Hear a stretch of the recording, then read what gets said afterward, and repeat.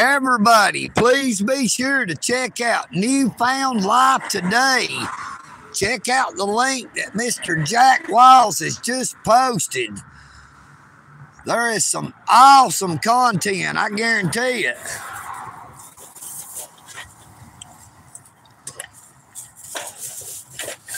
I don't understand why people that such great content don't have a hundred thousand subscribers.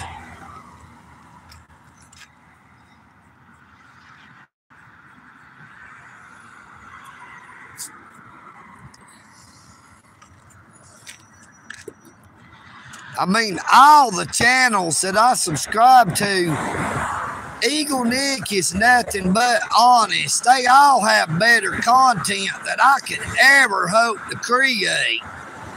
They see some of the best stuff that I wish that I could see. And for some reason, they do not get the recognition that their channel deserves. Now, I say it's time to change that. Everybody be sure to check out all of my subscriptions. Check out all the YouTube channels that I subscribe to, and you will find many that if you already are not subscribed to them, you'll say, Where have I been? Have I been living under a bridge? You know what I mean, Vern?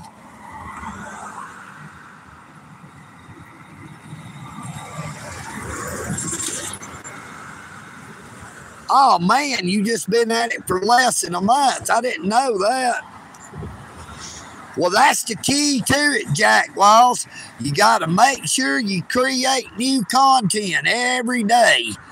Build up your channel's history. The more content you create, the faster you can build up your channel.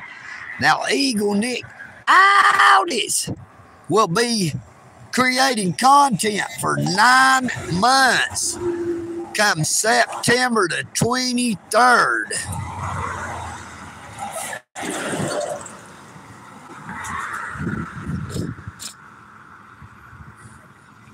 Yeah, you need to do some longer videos too, at least.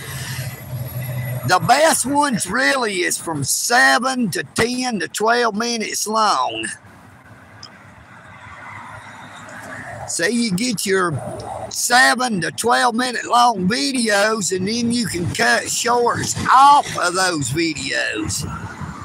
Before you upload the video to YouTube, you edit into a short, put your shorts on there, and then you upload the full video.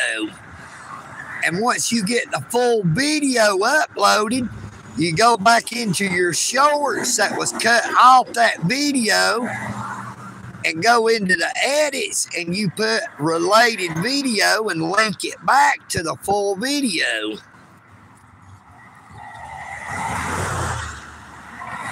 I mustn't run away. Good morning. Good morning. We're in Dalton, Georgia, the United States of America. You know what I mean, Vern? We're here on the Walnut Avenue Bridge overlooking them there railroad tracks. We're up here watching them there bridge chickens. Some people calls them pigeons. Oh, Eagle Nick out. It calls them bridge chickens because they live up and under this here bridge. You know what I mean, Vern?